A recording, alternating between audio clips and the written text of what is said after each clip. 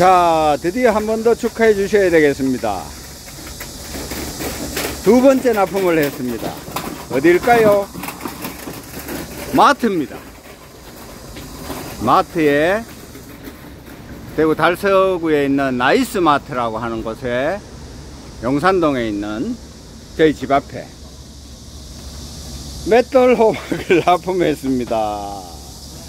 이 큰 마트에서 길가에 이렇게 잘 보이도록 진열해 놨습니다. 이 가게에서도 좀 잘 팔렸으면 좋겠습니다.